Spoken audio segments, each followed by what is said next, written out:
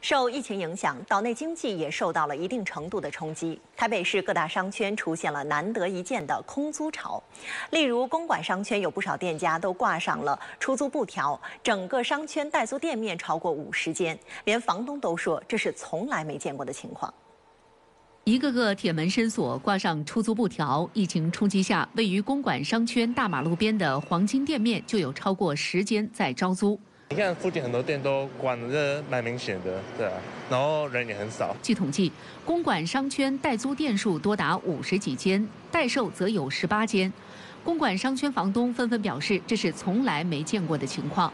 我现在太多家都空的，没有做生意就要缴房租，而且我们那个地方房租都很贵，撑不住就一定要垮了。而即使是还在开业的店家，业绩也是直线下滑。